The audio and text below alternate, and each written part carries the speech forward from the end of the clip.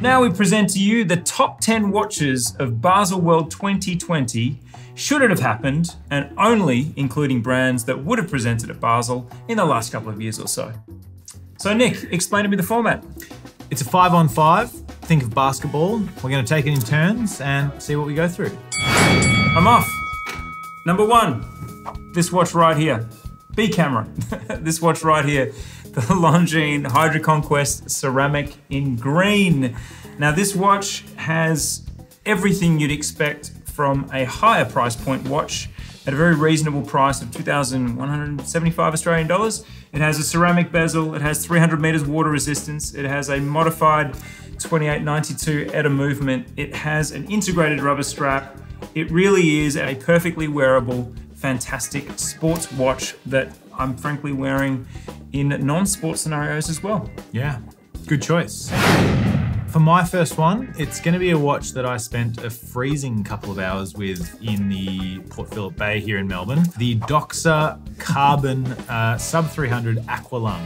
It's a very compelling watch for what you're getting for the money. It's a full carbon case and dial. Comes on an integrated rubber strap, very similar to that one over there, mm -hmm. uh, with a slightly different clasp. There's a titanium shell that protects the movement, which is also COSC certified, unusual for Doxa. And it's just a, a, fantastic watch. It's only about 87 grams, so a proper modern sports watch from a brand that has historically relied on uh, vintage reissues. I think it's a great step forward. And that's exactly the point with this Doxa is that sometimes when you've had a lot of vintage reissues that are, you know, hailed for their veracity to the original. You wonder where can this brand go? They're kind of boxed into a historical corner. Doxa have just smashed out of that with a very breakthrough colorway, like the yellow and the black. Yeah. You yeah. know, it, it's a very modern and cool. But it's still very Doxa because of the case shape, which is yeah. kind of consistent with the uh, with the 60s and 70s. So, Cushion, uh, baby. Yeah. Fantastic. Cool, I'm up again. What have you got? I'm gonna go a watch that excited me no end in January. It is the Hublot Integral, Big Bang Integral in King Gold. And I'm specifically choosing the King Gold because this,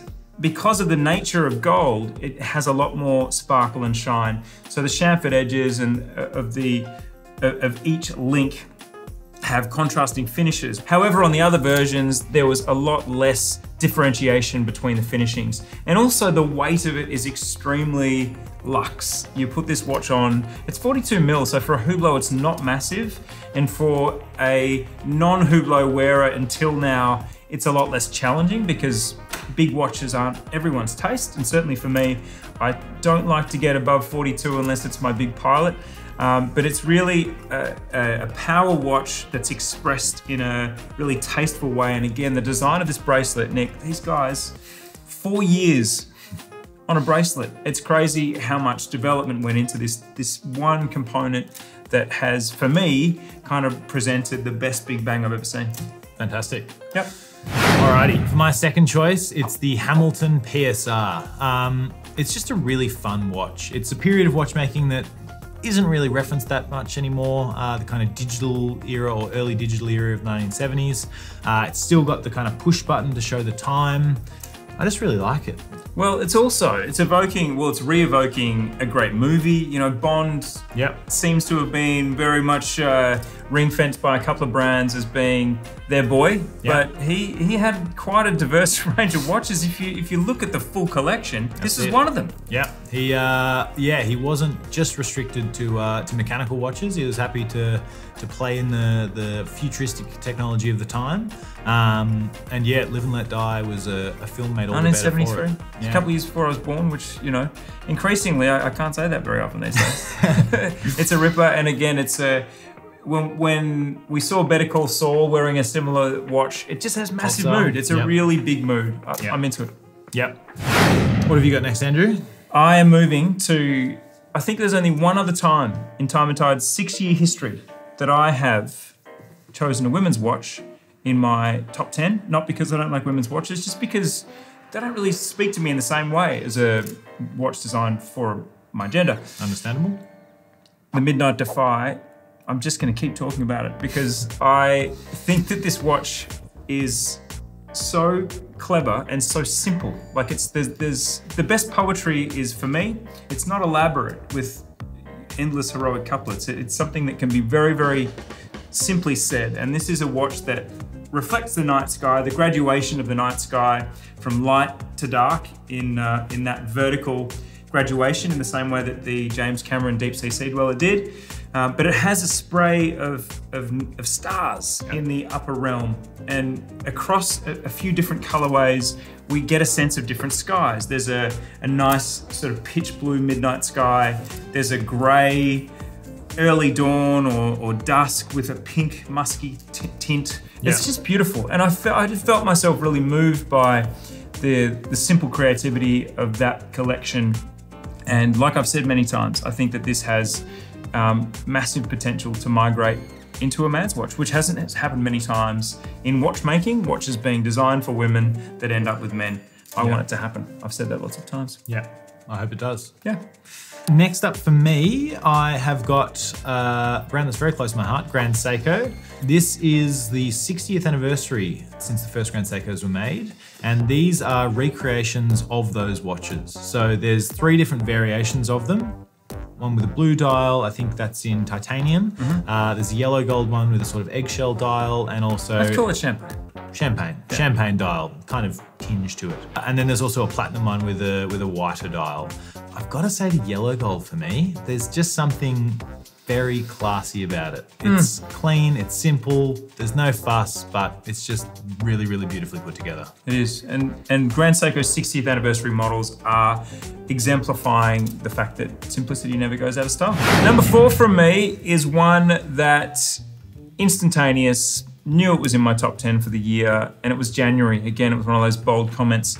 But the Octo Finissimo Satinato in steel with a black dial look, it could easily be the blue dial, which yep. has since been released, but I haven't seen it, so I can't I can't include it if I haven't seen it. The black one alone was was enough though. The Satinato refers to the different finishings that are applied to all these. To me, it feels like thousands of facets on this watch. Yeah, it's an angular watch. It's angular. It's there's there's an edge to every edge. There's an edge to that edge, and then as you apply different finishings to all of these, it really it lifts what a masterpiece the Finissimo is straight off that that object, and you just think, wow, this is a lot of work. And one small detail when you look at this Finissimo Satinato, the bezel is a different finishing to the um, the shape that it's within, and yet it's only a millimeter or two above that shape. And you think, okay, well, that's because they've applied this bezel it's it's extra to the case. It's not. It's all the same piece of metal. It just takes these unbelievable craftsmen and you know, it takes unbelievable engineering to be able to bring different lusters to all of these levels of the watch. So, look, for that reason and the fact that it feels bloody nice, it's a little bit heavier than the titanium. Like if you had an issue with a watch that was super light, um, it's there and it's now 100 meters water resistant. So, where maybe the titanium was a bit of a showpiece that you'd you know put on the bedside table when you went for a swim you can definitely jump in now with the uh, the Satinato and steel. I love it. It's a it's a serious sports watch. Um, they've been playing around the edges for a little while and they've they've they've taken the plunge. It's well, very very good. they have and they, look they've been able to do sports watches but but none that have none in a particular style that is unique to the house. Yeah. And yet the Finissimo instantly, as soon as it was released, was okay, well, I guess that's Bulgari's expression of masculinity and an expression of modern watchmaking. Now it's an expression of those things that is very viable to to not leave the wrist ever. Like this is a watch you can wear everywhere. I really feel like I talk a lot about it. it's awesome. That, that and the Midnight Defy. Next up for me, we've got the Casio NASA Limited Edition. Again, another little fun one. You've got some quirky retro watches in there. I just like them. Yeah, I'm down with that. It's it's just a little bit different. It feels like you want fun in your life. Yeah, uh, I don't think watchmaking always has to be taken too seriously. Clearly not. Um, I think that there's yeah, there's plenty of opportunity for people to really enjoy the hobby at any price point, and I think this Casio NASA is a fantastic example of it. It's not very expensive, only a few hundred Australian dollars. It has the uh, iconic uh, NASA worm logo. Um, no other real branding to it. It's otherwise a fairly pristine white, and I just think it's yeah not something we've really seen from G-Shock before. And the best thing about this watch is yes. the way that you can Press the button, illuminate the dial, and you get a sort of superimposed image of the moon, which is quite cool. Nice touch. Nice touch. Lastly, for me, it's pretty serious actually, and it's pretty new. I've been crushing on the Glashütte Originals 60 series Glacier Glacial Blue. Glacier, Glacier Blue? blue. Yep. One of those two. Since I saw the artist impressions and since I saw the renders, but then when I saw it photographed, my infatuation went to another level.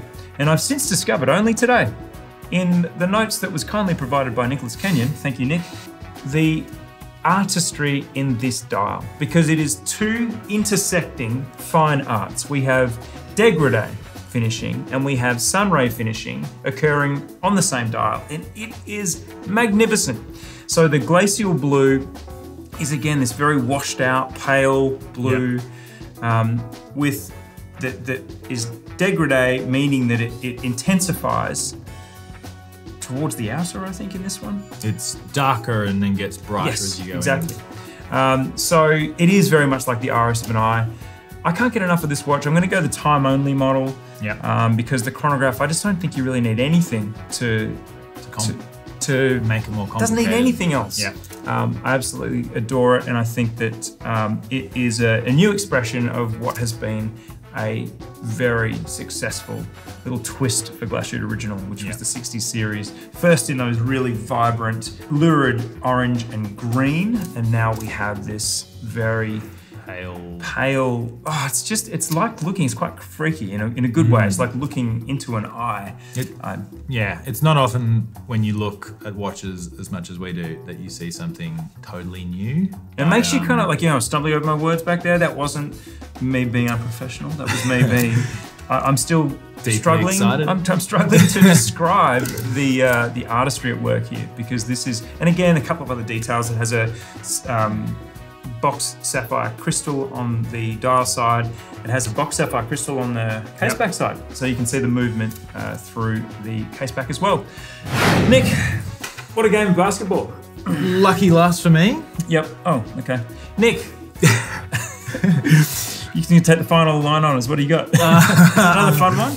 Uh, it is another pretty fun one, I think. It's the SPB 149 from Seiko. That's not fun. That's just great. They've been doing a really good job recently. Um, it's 55th anniversary of their first ever dive watch, of which this is an expression. They have released a couple of watches with similar sorts of case styles this year, but I think the 149 specifically, in terms of the dial color, um, is most consistent with the original. It's a great size, 40 and a half millimeters, I think 13.2 maybe thick. Mm-hmm. It's, yeah. And it's usually, when someone says, "Oh, I've got a limited edition of five thousand watches," we'd snigger a little bit. We're not really sniggering because this is almost certainly going to sell out. I mean, the the feedback, the traffic, the the riot that we've Yeah. experienced when we released first the pictures and then the video. It's crazy. There's something Yeah. about this watch. You've Yeah. gone for an absolute crowd pleaser to finish, so that's fine. You know, you take the take the obvious, most popular one. That's cool. You have that. It, it's a great price as well. It's only 19.95. 19.95 Australian dollars. Yep. Um, I think at that price point, five and a half thousand of them shouldn't be too hard to sell. Yeah. So there you have it. There's 10 watches that we've loved from a Baselworld that never happened. Uh, thank you very much for watching. Please let us know what you thought in the comments. And, you know, if you would like to watch the longer version of Baselworld 2020, pretend fake edition, um, just keep watching because it's in the end screen. Thanks very much.